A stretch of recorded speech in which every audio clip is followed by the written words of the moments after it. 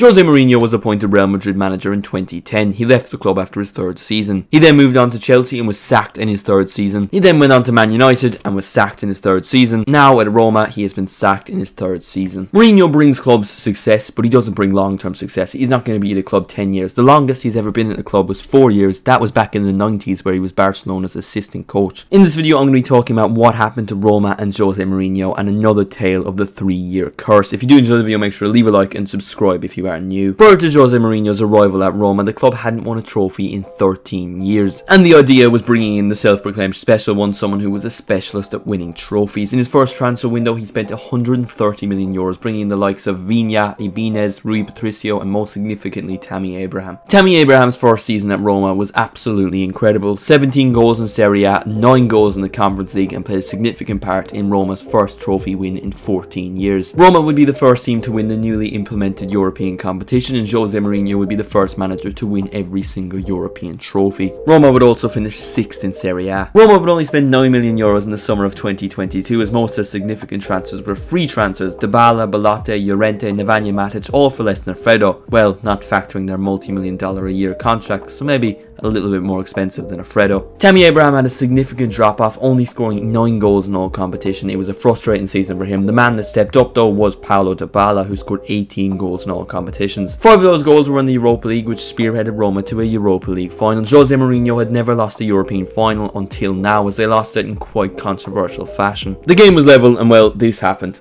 A very clear handball inside the box. Roma score that, the game doesn't go to penalties, Roma don't lose, and they win the Europa League. Unsurprisingly, an English referee gets the decision wrong, Roma lose the Europa League, and Roma don't win back-to-back -back European trophies. Back-to-back -back years of Roma spending 9 million euros in the transfer market, and most of that was on Romelu Lukaku's loan, as they would spend 6 million euros on a loan free, they would bring in Paredes for 2 million euros, free transfers like Houssem Aouar, Ndicka, Renato Sanches on loan, and in terms of departures, they would make 75 million euros, most significantly losing Ibanez to Saudi Arabia. And well, here we are, 20 games into the Serie A season, Roma are 9th in the table, and Jose Mourinho's time at Roma has come to an end. While 9th does sound bad, it is a bit of a false position because they are only 5 points off the top 4. He wins the next 3 games, you're thinking he's doing a brilliant job because they probably sit 4th. Chris Smalling has been out for the majority of the season, he's been a key player in Mourinho's tenure, so that's going to be a big loss. Tammy Abraham hasn't played at all this season. I know he was bad last year, but he's still a good player. Roma's recent results have been bad, but you look at the teams they're playing. A 2-0 loss to Bologna, a team two places above them. They're having a good season. They then beat Napoli 2-0. That's a good result, even if Napoli aren't having a great season. A 1-0 loss to Juventus. Juventus are having a fantastic season. They're in the title race. A win in the Coppa Italia. 1-all draw with Atalanta, a team a few places above them. A 1-0 loss to local rivals Lazio, who are 6th